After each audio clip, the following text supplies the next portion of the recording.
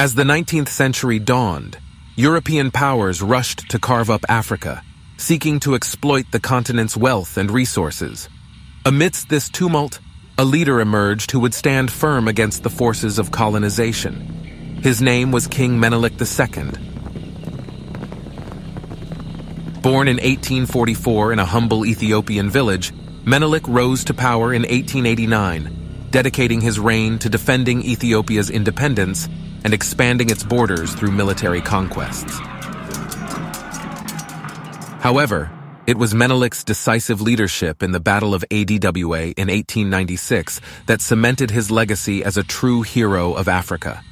Against all odds, Menelik led his army to a stunning victory over Italian forces, becoming the first African leader to successfully repel a European colonial power. Menelik's triumph at ADWA inspired his people and sparked a wave of African pride throughout the continent. His determination, intelligence, and bravery in the face of adversity made him an enduring symbol of resistance against colonialism and oppression. Today, Menelik's legacy lives on in Ethiopia, where he is revered as one of the country's greatest leaders. Though not without controversy, his unwavering commitment to his people's freedom and independence continues to inspire generations. In a time when Africa was being torn apart by external forces, King Menelik II emerged as a beacon of hope, a symbol of resilience and a true hero of his people.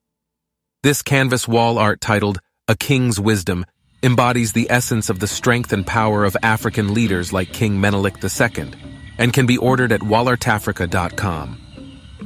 A link is in the description of this video.